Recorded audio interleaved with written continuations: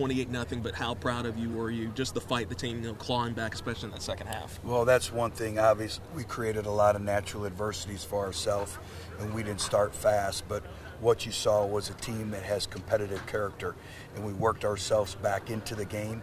And uh, that speaks a lot for what we have and, and who we are. But you know, you can't come on the road and you can't really start any game the way we did. Uh, they scored offensively. They scored four out of five of their first possessions. It took us our sixth possession uh, to score. When you look at critical down execution, we were three out of 14 on third down conversions. We weren't able to possess the football. I thought in the first half we had way too many penalties, particularly in the special teams game. We hadn't done that all year long, and, and every play plays off of each other.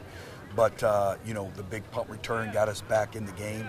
And uh, again, I thought our players competed, but we made, made way too many mistakes today uh, to give us a chance to win. You know, had a couple guys banged up. I mean, how much did that really impact things for you guys offensively? Well, you know, it's next man in, and uh, very, very unfortunate circumstance with Jacob Bayer this morning. And uh, our thoughts and prayers are with him and his family, and he's going to be fine. He'll have to stay over in Huntington.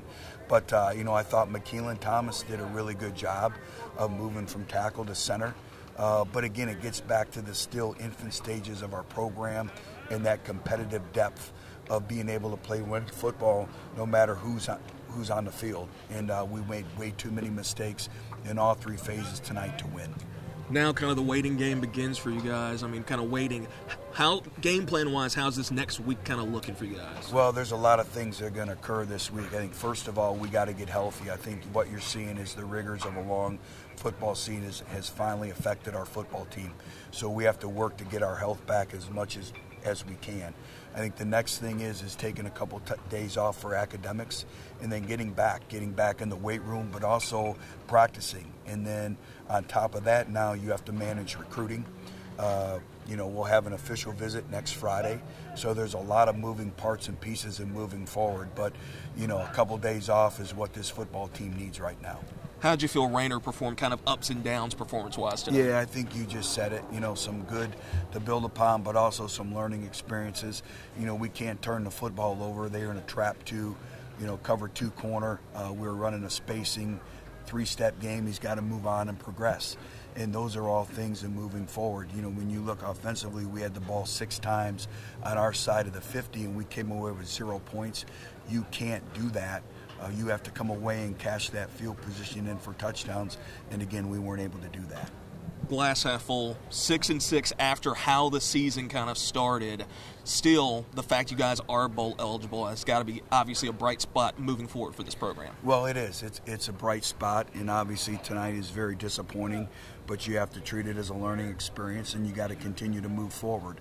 Uh, but you know, to have a 13th opportunity uh, to be able to grow and develop our young football team with more practice reps, more time in the weight room, and really for this team just to stay together. Uh, you know, and for our 11 seniors as well. Obviously, with the portal opening up, uh, that's going to be a, a, roller coaster ride as well as it'll be for the entire uh, world of college football. But uh, it's just another opportunity to continue and improve and also be together as a football team, and also for our fan base to be able to have a bowl game for the holidays. Last question 11 bowl eligible teams. Just kind of describe the depth of this entire Sun Belt Conference. Well, I think that speaks volumes. I think it speaks for itself. You know, we've spoke many times about this being one of the most competitive conferences in all of college football.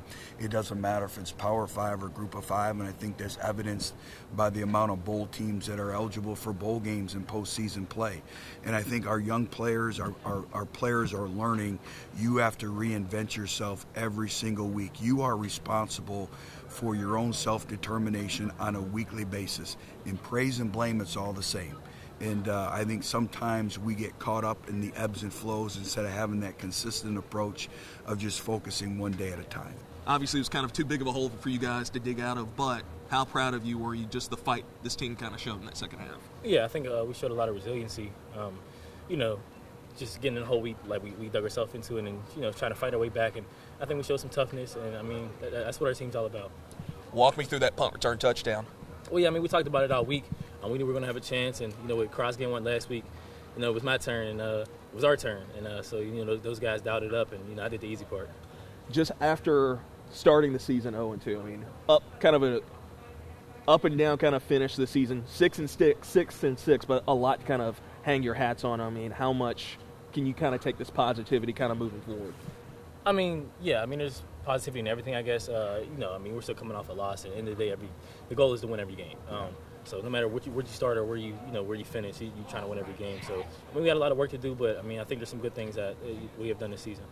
How beneficial is this next week going to be for you guys to kind of definitely get some rest? I think it's gonna be I think it's gonna be huge for us. Uh, you know, to get some people back and everybody. You know, at this point, everybody's bruised up a little bit, so to you know get get, get rid of some of those and you know get back healthy. Just offensively, just I know it's kind of an up, you know, slow start, but you, you feel like you guys offensively really kind of warmed up, especially like later in the game. Yeah, yeah, I agree. Uh, we started, you know, doing more tempo and stuff, and you know, stuff starts with just getting the first first down. Um, that's that's the key with every drive. Just get one first down, and then you move on, move on.